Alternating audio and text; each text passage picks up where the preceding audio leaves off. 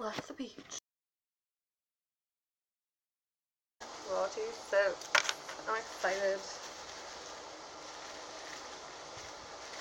There it is. There's your ingredients.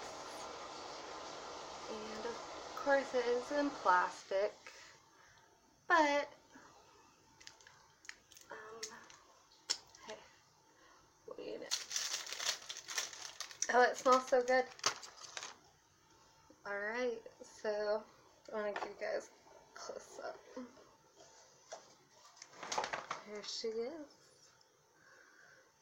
And these swirls are so pretty. And the biodegradable glitter. I'm so excited to have one. It smells so good. It is so summery.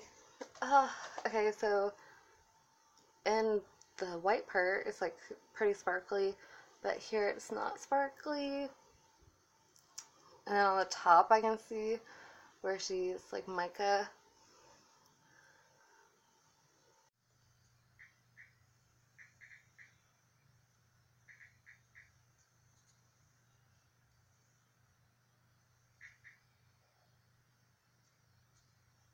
I feel like I just left the beach with this soap.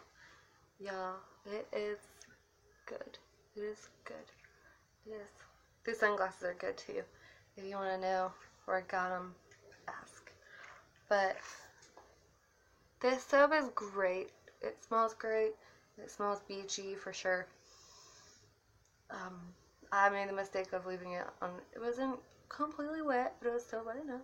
It messed up the back of my soap. So I wasted a little bit. So don't do that. And make sure you put it somewhere dry right away. And make sure you don't leave it sitting too long or so. I love it. I recommend it. I got it once again from Royalty Soap. Thank you, Katie, for being such a good soap maker. You're so inspiring. And I can't wait to make more of your soap. This particular bar, once again, helps to clean out some ocean for some sea turtles.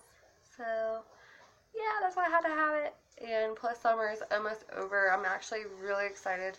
You know, I love it when the season changes. I feel like every season has something new and fun. So I'm not sure what trend I'm going to try to jump on when it's fall yet. But thanks for watching. I love this. Not affiliated. This is good. It smells so good. I recommend it. 2 out of 10. Bye.